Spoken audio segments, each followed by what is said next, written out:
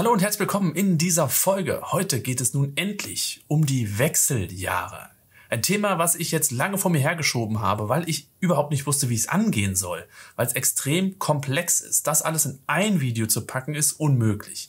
Sodass wir heute erstmal grob besprechen, was die Wechseljahre eigentlich sind, was da physiologisch hintersteckt, was der Körper da eigentlich macht der Frau, was es für Symptome auch gibt. Und in den nächsten und folgenden Videos werde ich die einzelnen Sparten nochmal gesondert aufgreifen, wie man zum Beispiel auch eine Therapie machen kann, was es auch für ganzheitliche Ansätze gibt, pflanzliche Ansätze gibt, wie die Symptome sich eigentlich äußern und warum sie sich so äußern. Es gibt also eine Menge zu besprechen. Aber damit man die Integralrechnung der Wechseljahre versteht, müssen wir erstmal beim Einmaleins anfangen. Das besprechen wir heute, die Basics zu den Wechseljahren.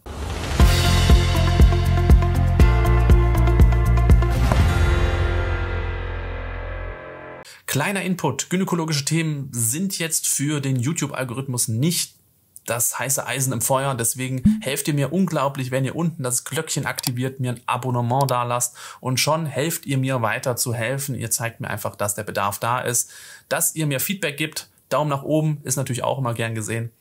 Das wäre ein großes Anliegen meinerseits. Jetzt geht's weiter mit den Wechseljahren. Was bedeutet eigentlich Wechseljahre? Es ist in der Medizin ja sehr oft so, dass irgendwelche schwammigen Oberbegriffe genannt werden. Ich finde es bei den Wechseljahren ziemlich schlüssig, denn es sind Jahre des Wechsels. Die Frau wechselt von ihrer fertilen und reproduktiven Phase, also die Phase, wo sie fruchtbar ist, zu den Jahren der Unfruchtbarkeit. Dass dieser Wechsel nicht ganz unmerklich vonstatten geht, das wissen viele Damen aus eigener Erfahrung, aber es ist auch nicht so, dass die Wechseljahre immer gleich schlimm sind, sondern es ist vielmehr ein neuer, ganz anderer Lebensabschnitt für viele Frauen, die auch einhergehen mit sehr vielen Freiheiten. Das Thema Verhütung zum Beispiel fällt weg. Das Thema Perioden, Blutung, Schmerzen, alles was damit einhergeht. PMS wird besser. Brustspann fällt weg. Also, auch wenn man Wechseljahre immer ein bisschen negativ konnotiert, ist es nicht immer negativ. Kommen wir aber gesondert nochmal zu. Und um diese Jahre des Wechsels zu verstehen, müssen wir einen ganz kurzen Blick zurückwerfen auf die Embryologie. Denn so ein weiblicher Fetus im Bauch der Mama hat ja schon millionenfach Eizellen in den Eierstöcken. Lustigerweise oder unverstandenerweise gehen davon die allermeisten zugrunde, sodass nur noch wenige hundert Eizellen von den Millionen übrig bleiben, um potenziell mal befruchtet zu werden. Und von diesem Eizellpool, der bei der Pubertät übrig geblieben ist, wachsen natürlich Monat für Monat immer welche an. Einer kommt in den meisten Fällen zum Sprung, sogenannter Eisprung, und der Rest von diesen mitgewachsenen geht dann auch zugrunde, sodass diese Eizellreserve in den Eierstöcken langsam, aber stetig weniger wird. Und jetzt kommt der Clou, und da verweise ich natürlich auch nochmal gerne auf mein Video, wo es um den weiblichen Zyklus im Allgemeinen geht.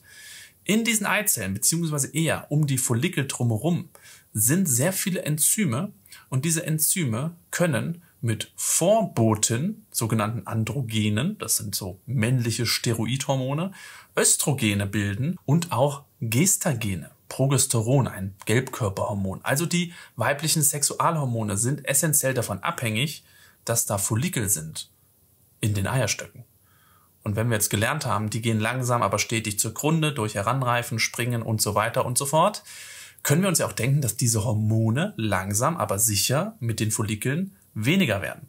Und genau das passiert eben nicht knack per Knopfdruck, sondern eben über Jahre. Nun sind diese Hormone im Körper gekoppelt an den Hirnstamm. Der Hirnstamm ist quasi der Pulsgenerator. Der sagt immer, bitte Hormone machen, bitte Hormone machen. Und er merkt jetzt, da kommt irgendwie weniger zurück. Ich sag zwar, macht mal mehr Hormone, aber es kommen nicht mehr Hormone. Also versucht der natürlich weiter Gas zu geben. Und das sogenannte FSH, das follikelstimulierende Hormon, was in der Hypophyse ausgeschüttet wird, geht nach oben um eben den letzten, wirklich die letzten Reserven dieser Eierstöcke herauszupressen. Das passiert aber irgendwann nicht mehr. Typisches und klassisches Bild eben bei einer Blutuntersuchung bei einer Frau, die in den Wechseljahren ist oder das schon hinter sich hat, ist ein sehr hoher FSH-Wert und sehr niedrige periphere Östrogene oder auch Progesteron. So, und diese Wechseljahre fest zu definieren. Da kommt die Medizin wieder ins Spiel und ich habe es eben angesprochen. Es gibt einfach immer so klare Definitionen, die meistens gar nicht so klar sind. Und wir müssen ein paar Definitionen jetzt einmal kurz durchexerzieren, damit grob klar ist, wie man das Ganze unterteilt. Denn eine Frau, die sagt, ich bin in Wechseljahren, das könnte jetzt bedeuten, dass die letzte Periode schon fünf Jahre her ist und sie eigentlich durch mit dem Thema ist. Oder das könnte auch bedeuten, dass sie jetzt seit drei, vier Monaten eine komische Blutung hat, die mal mehr, mal weniger, mal einen Aussetzer hat und nicht so richtig weiß, was los ist, weil sie eben in den Wechseljahren steckt. Und deswegen gibt es genaue Definitionen in der Medizin, die da heißen. Wir fangen an mit der Menopause. Menopause, da werden viele Frauen sagen, aha, die Pause von den Männern, jetzt versteht ihr langsam, ja, ist eine sehr gängige Floskel, aber medizinisch bedeutet Menopause die zuletzt biologisch gesteuerte Menstruation. Also die letzte Menstruation, die stattgefunden hat, die durch eigene Hormone verursacht wurde. Man kann also den Zeitpunkt der Menopause erst rückblickend definieren. Zwölf Monate nach der letzten Periode, nach der letzten Menstruation, ist die Frau postmenopausal. Also nach der Menopause, weil es ist länger als ein Jahr her, wo die letzte Blutung war. Und dann gibt es eine Prämenopause. Ich habe das jetzt chronologisch anders gemacht. Die Prämenopause kommt eigentlich als erstes, aber ihr müsst ja erstmal verstehen, was die Menopause ist. Und jetzt könnt ihr verstehen, was die Prämenopause ist. Bedeutet vor der Menopause. Das ist das Auftreten, ich habe es gerade erwähnt, der ersten komischen Zyklen, der ersten kleinen Beschwerden vielleicht auch. Aber die Menstruation kommt immer noch mal alle zwei, drei Monate, aber es stellen sich so langsam Unregelmäßigkeiten ein, also ist die Frau prämenopausal. Und jetzt gibt's noch einen Zeitraum, so ein bis zwei Jahre um diese Menopause drumherum. Und das Ganze nennt man dann perimenopausal. Ja, das ist die Medizin und es hat sehr viel Freude gemacht, das früher alles auswendig zu lernen. Aber da sieht man mal, dass das nicht ein Zeitpunkt ist, sondern ein wirklich fließender Übergang, der Jahre dauern kann. Statistisch kommt die Frau in die Wechseljahre mit 52, 53 Lebensjahren. Das ist diese Normverteilung. Es gibt natürlich welche, die ein bisschen früher in die Wechseljahre kommen und es gibt welche, die ein bisschen später in die Wechseljahre kommen, beziehungsweise die Menopause haben. Jetzt wird es nochmal kurz ein bisschen speziell, danach könnt ihr aufatmen, dann wird es wieder leichter. Wenn die Frau vor dem 40. Lebensjahr in die Wechseljahre kommt, dann ist das ein Krankheitsbild und nennt man Klimakterium präcox. Und dann gibt es noch eine primäre Ovarialinsuffizienz, was sehr junge Damen oft betrifft. Das wollen wir jetzt nicht weiter besprechen. Wenn ihr Lust auf das Thema habt, schreibt es mir einfach in die Kommentare. Es ist ein bisschen spezieller, nur dass ihr das mal gehört habt. Natürlich gibt es auch Frauen, sogar auch jugendliche Mädchen, die sehr, sehr früh Wechseljahrserscheinungen haben, wo eben die Eierstockfunktion nicht so ganz adäquat ist oder ein Problem im Hirnstamm liegt. Jetzt haben wir also die Situation, dass die Hormone, vor allem Östrogen, so langsam in den Keller rauschen.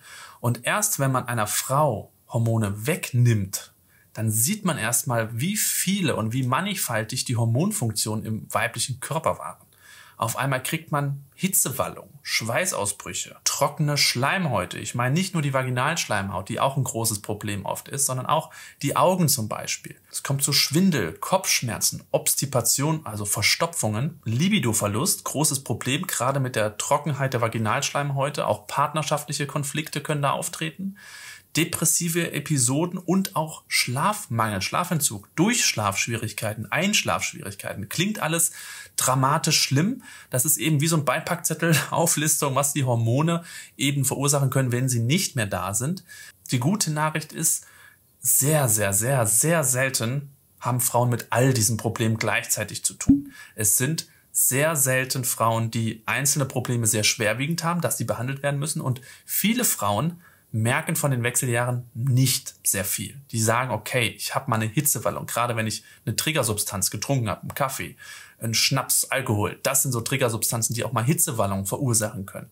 Unterm Strich möchte ich sagen, es gibt viele Frauen, die wenig Symptome haben und wenig Frauen, die viele Symptome haben.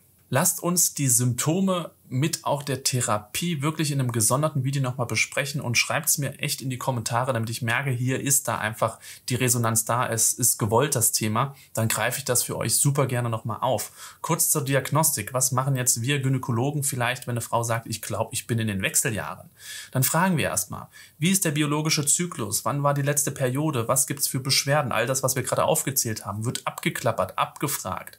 Und wenn die Frau erzählt, nö, mein Zyklus ist eigentlich noch ein Schweizer Uhrwerk, ich habe ab und an mal so komische Hitzewallungen mal einmal pro Monat, ich weiß auch nicht, woran das liegt, dann ist die Wahrscheinlichkeit schon allein durch das Gespräch sehr gering, dass jetzt schon manifeste Wechseljahrssymptome hier vorhanden sind, weil eben auch der biologische Zyklus noch gut funktioniert. Man braucht also auch nicht immer die Blutentnahme, die ich vorhin angesprochen habe. Natürlich, wenn man unsicher ist oder man das unbedingt wissen will, kann man eine Hormonbestimmung machen. Und da würde man vor allen Dingen sich auf dieses FSH, LH, Östrogen spezialisieren. AMH, das Anti-Müller-Hormon, hat null Aussagekraft. Weder was die Kinderwunschphase angeht, noch was die Wechseljahrsphase angeht. Das nur mal zu dem Thema. Auch hier würde ich am liebsten mal über AMH alleine sprechen, weil es ist ein sehr überstrapaziertes Hormon äh, mit vielen Hoffnungen früher gewesen, die sich alle zerschlagen haben. Therapie. Wie sieht so eine Therapie aus? So wenig wie möglich, so viel wie nötig, ist eigentlich grundsätzlich in der Medizin oft ein sehr gerne genommenes Prinzip und das gilt eben für diese Wechseljahrsbeschwerden noch gesonderter. Es zählt also die Symptomatik des Beschwerdebild der Frau. Wenn das lebenseinschränkend ist und die Lebensqualität wirklich massiv in den Keller treibt, dann sollte man therapieren. Und da gibt es mannigfaltige Ansätze, ganzheitlich, pflanzlich, natürlich auch die chemische Keule mit einer Hormonersatztherapie das ist ein riesen, riesen Thema. Spreche ich gerne auch nochmal drüber. Und auch hier schreibt es mir rein, so sehe ich, aha, Bedarf ist da und dann besprechen wir mal wirklich, was gibt es für pflanzliche Präparate, was gibt es auch für ganzheitliche Ansätze, Sport, Stressreduktion, autogenes Training, Yoga etc. Oder auch, was gibt es überhaupt an Hormonen, bioidentische Hormone oder wirklich die synthetisch hergestellten Hormone für eine Hormonersatztherapie. Wie ihr seht, ich könnte mir den Mund schon jetzt fusselig reden und das ist nur das Basic-Video. Ihr wisst jetzt ungefähr, was Wechseljahre sind, wie sie bezeichnet werden, wie der Übergang ist und welche Symptome auftreten können. Da gibt es noch viel mehr. Ich habe jetzt nur wirklich die Klassiker aufgezählt. Also, unterm Strich halten wir fest bei diesem Video, wenn ihr weiteren Bedarf habt, schreibt's mir in die Kommentare. Und ich glaube, jetzt habe ich euch genug überfordert mit Peri und Prä und postmenopausalen Begrifflichkeiten. Schaut gerne mal bei Instagram vorbei, da gibt es auch nochmal ein ganzes Portfolio an Themen. Und ansonsten sehen wir uns hier wieder im nächsten Video und ich würde mich über ein Abo-Nummer freuen. Tschüss!